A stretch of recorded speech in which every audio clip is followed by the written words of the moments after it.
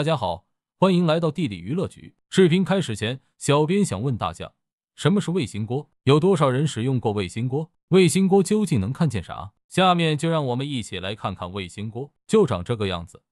只要能拥有这样一个小物件，基本就能观看所有人们想看见的节目。不过，如今我们很少再看见有人使用它。中国除了极少数偏远地区还有卫星锅的存在，国外还是有很多地区可以使用的。另外，从中国相关政策来看，卫星锅已被禁用。为何当年风头正劲的卫星锅，如今为什么被禁用？我们就来说说中国大陆的情况吧。事实上，卫星锅被禁用有多个方面的考虑，其中主要原因涉及人身安全和信息安全，主要还是中共政府觉得不安全，不想让大家看到外面的节目。而且早期的卫星锅成本低廉，产量高，又因使用价值十分受市场欢迎，他们害怕拦不住，这是最直接的原因。另外就是他们要推出可控的有线电视节目，这是一个强大的商业项目，但是确实也有安全原因，比如不少卫星锅的材料以及安装存在较大的安全风险。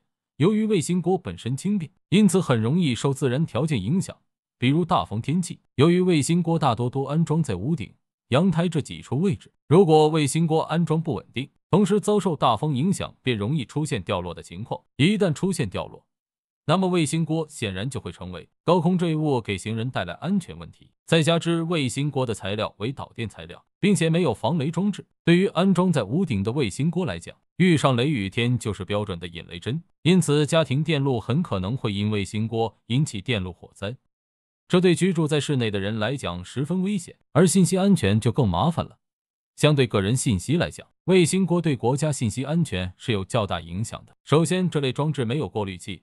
信号强度较大的卫星锅几乎能够接收所有卫星信号，因而也能观看到更多的信息节目。这绝对不是中共想看到的。那么，卫星锅是如何做到让使用者观看到所有内容，并且拥有众多卫星信号访问权的呢？这就涉及到卫星锅的设计和原理了。卫星锅的外形令人印象深刻，看起来就像一个倒扣的锅盖。这样设计的目的是为了将信号反射到锅盖内的焦点。实际上，这个锅盖是卫星天线的碟面，安装在碟面焦点支架上的则是馈电喇叭。而馈电喇叭则是波导的前端，用作碟面焦点处或者附近收集信号，并通过其传导。传导完成后，信号会在低噪声块下变频器，LNB 停留，LNB 将电磁波或无线电波信号转为电信号，然后将该信号从下行链路的 C 波段和 K under 波段转移到 L 波段范围。由于卫星天线的碟形设计，信号会在碟面聚集，碟形天线的指令增益会随着频率的增加而增加。对于较低的频率，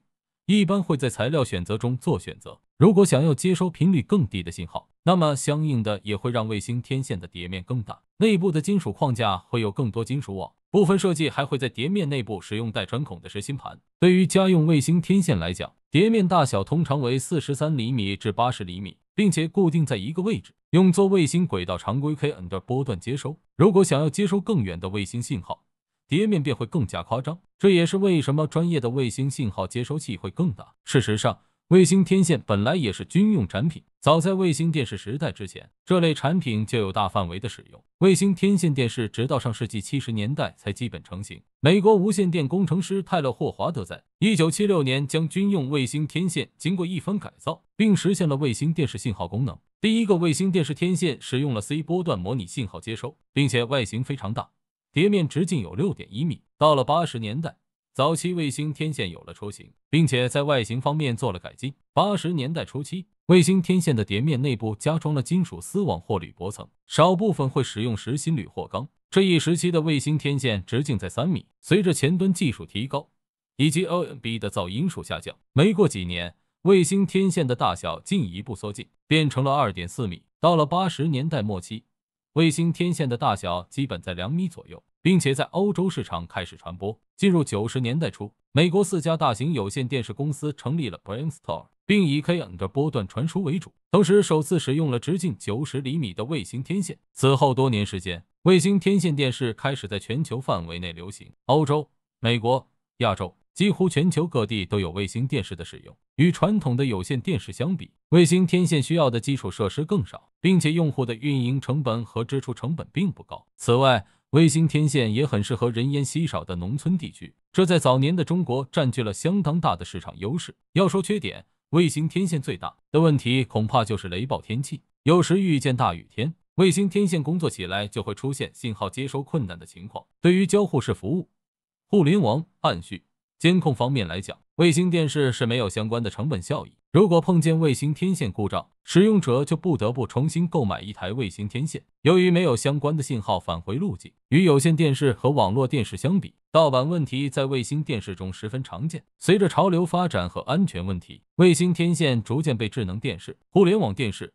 智能投影取代。因此，在今天，卫星锅的没落，见证了一个时代的落幕，也见证了一个中共政府对于卫星锅的恐惧。你们对此有什么看法呢？知识分享既要有趣。也要有用，感谢大家来到地理娱乐局。